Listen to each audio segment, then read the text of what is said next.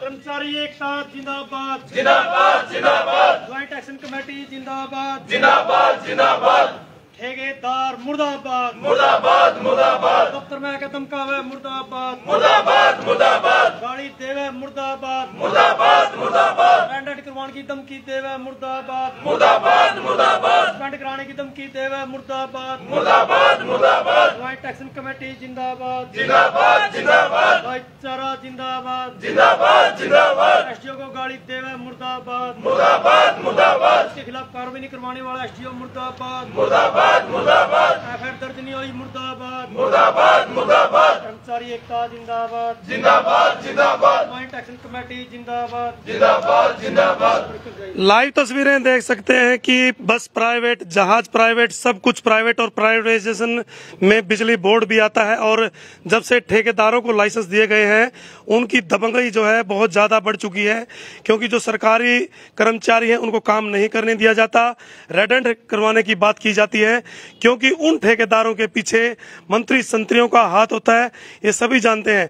अब ये देखना होगा कि आज क्या हुआ है। क्या उनके साथ बीता है एसडीओ साहब के साथ बदतमीजी की गई है तो उनसे जानेंगे पूरी तस्वीरें। इन तस्वीरों को ज़्यादा से ज़्यादा शेयर कीजिएगा, क्योंकि ये जो लोग हैं आपके सामने बैठे हैं, हर रोज अपनी सर्विसें देते हैं, आपके कहते ही आपके कनेक्शन देते हैं, बिजली को ठीक करते हैं, लेकिन इनको जो है रेडेंट करने की बात की जाती है। ऐसा क्यों? क्योंकि जो प्राइवेट ठेकेदार हैं, उनकी दबंगई जो है उन मंत्रियों के साथ सेटिंग करके बहुत ज़्यादा बढ़ गई है। बात करेंगे। सर, आगे आइएगा एक बार। तो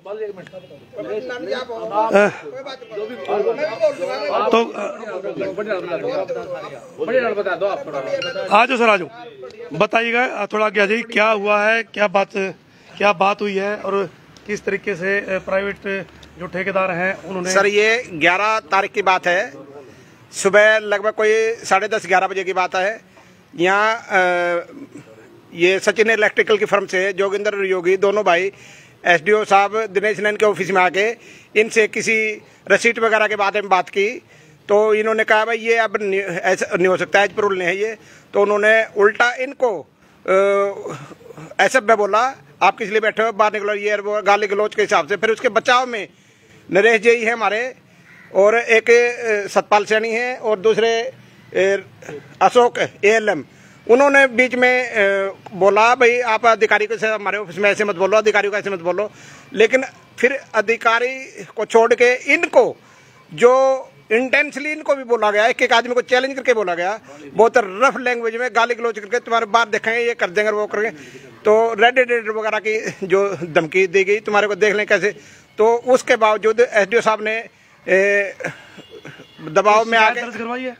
यूनियन ने उनको अभी आज कह रहे हैं भाई हो के आ जाएगी ये दस कै दिन हो गया आज। चौदह हाँ चौदह तारीख के उन्होंने यहाँ से भेजा भी था।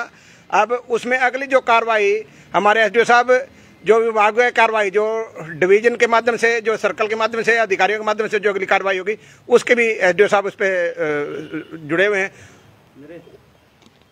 अभी क्या मांग है क्या चाहते हैं क्या वो लोग चाहते हैं जो मतलब प्राइवेट ठेकेदार हैं अपनी मनमानी जो है आप लोगों के ऊपर कर रहे हैं तो क्या क्या मनसा है उनकी और आप क्या चाहते हैं?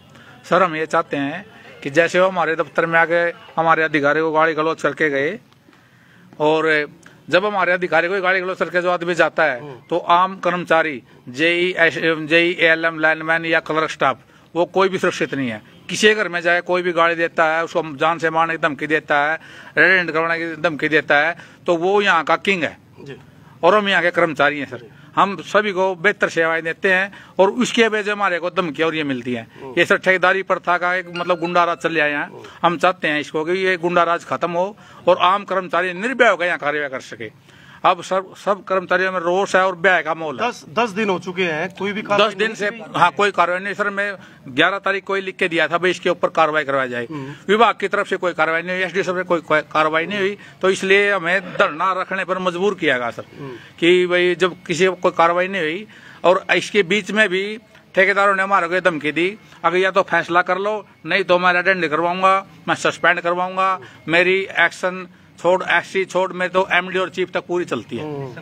मैं निश्चंग बना दूँगा निश्चम में सर हमारा साथी टेंड होया था अच्छा। एक सस्पेंड होया था ये करे हमें भी वो काम भी हमारे द्वारा ही कराया गया। ये आके नरेश जय को धमकी दे के फिर ये कह गए थे अच्छा। कि आप या तो हमारी बातें मान जाओ आराम से फैसला कर लो नहीं तो हम तुम्हारे साथ भी यही हाल करेंगे। तो हम ये अपील करते हैं सर कि हमारे हमारे न्याय दिला जाए इनके ऊपर जो उचित कार्य होते हो किया जाए विभाग की तरफ़ से इनको यहाँ से सस्पेंड किया जाए इनको और जो के और सारे कर्मचारी निर्भय होकर यहाँ कार्य कर सकें। अगर ठेकेदार के खिलाफ कोई कार्रवाई नहीं होती है तो उसके बाद आपका एक्शन क्या होगा? हमारा यहाँ धरना रूप से चालू रहेगा। अगर यहाँ ने कार्रवाई धरना हम यहाँ से उठा के डिवीज़न पे ले जाएँगे डिवीज़न से उठा के सर्कल पे ले जाएँगे और सर्कल से पूरे जाने फैलेगा। अगर ठेकेदार के खिलाफ कोई कार्रवाई नहीं होती है तो। देखिए, सरकारी कर्मचारी बिल्कुल जो है कमज़ोर हो चुके हैं। उनकी बाजुएँ काट दी गई हैं। उनकी जो सुरक्षा की यदि मैं बात करूँ, वो सुरक्षा हम ये सोचते थे कि ये जो सरकारी कर्मचारी होते हैं, बड़े ही अच्छे इनके साथ व्यवहार किया जाना चाहिए, क्योंकि आम आदमी जब आता है तो इनसे रिक्वेस्ट करता है कि हमारा काम कर दीजिए।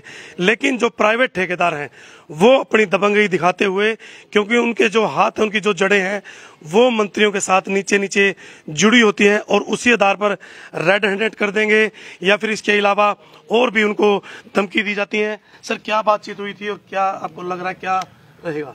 उस दिन बस यही बात है जो आपको पहले जैसा आपने जी, बताई कोई मैटर था तो एस साहब से बोल रहे थे कि आप इस पे साइन कीजिए। जी।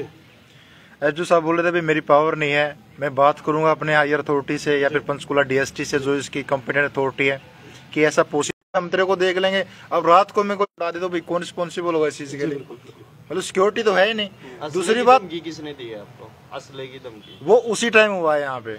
अच्छा। हाँ बोलने में। ठीक है ना? यहाँ पे फुल गर्म बोल रहा है और बोलने में वही बोल के गए हैं। तो उसी समय आपने पुलिस की सुरक्षा क्यों नहीं ली? पुलिस को बुलाया था? देखो सर जब इतनी उस बात टाइम पे हमारे एस साहब थे मेरे सीनियर थे यहाँ पे। अगर उनके ऑफ़िस में उनके साथ बदतमीजी होती है और हम बीच बचाव में आते हैं तो मेन रिस्पॉन्सिबिलिटी एस की होती है कि वो हायर अथॉरिटी को इन्फॉर्म करे और पुलिस में इन्फॉर्म करे इंटीमेट करे इसके बारे में। ठीक है? हमने यूनियन के लेवल पे इसके लिए एस साहब को जो लिखना था विज्ञापन देना था हमने दे दिया था और उसके बाद ये कार्रवाई हुई है। क्योंकि अगर मेरे से हायर मेरे से हायर अगर ऑफिसर वहाँ पे है तो रिस्पॉन्सिबिलिटी उनके ऊपर आती है। सब डिवीज़न है सब डिवीज़न का जो मेन इंचार्ज होता है वो एस होता है ना कि जय मैं यहाँ पे जय हूँ इसलिए मेरी वो नहीं थी कि इसमें मैं पुलिस को बुलाऊँगा किसी और को बुलाऊँगा। और दूसरी बात है अगर इस ऑफ़िस में किसी की रिस्पेक्ट ही नहीं है मान लो कल के कोई भी नॉन अन, कोई भी अनसोशल एलिमेंट आएगा, यहाँ पे तोड़फोड़ करके चला जाएगा। यहाँ पे बिल्स की भी वो होती है। मान लो कोई इसी में आग लगा के चला जाए, कल को पूरी पब्लिक परेशान होगी इसका कितना मिल रहा है, क्या कर लेंगे उस चीज़ में? ये तो कर्मचारी परेशान। जी हाँ कर्मचारी परेशान और ये तस्वीरें देख सकते हैं। बिजली बोर्ड के सारे कर्मचारी किस तरीके से अपनी परेशानी को लेकर यहाँ बैठे हैं और प्राइवेट जो ठेकेदार हैं, उनकी दबंगई चाहे प्राइवेट बस वाले हैं या कोई भी डिपार्टमेंट है, उसमें काफ़ी समस्याएँ जो है सरकार को आ रही हैं। आज सरकार के ये कर्मचारी अपने आप को असुरक्षित महसूस कर रहे हैं। विनम्र निवेदन रहेगा प्रशासन से कि जल्द से जल्द जो है दोषियों के खिलाफ सख्त से सख्त कार्रवाई की जाए और इस डिपार्टमेंट को जो है सुरक्षित किया जाए। बने रहे संदल चल हरियाणा के साथ और ज़्यादा से ज़्यादा इन तस्वीरों को शेयर करें।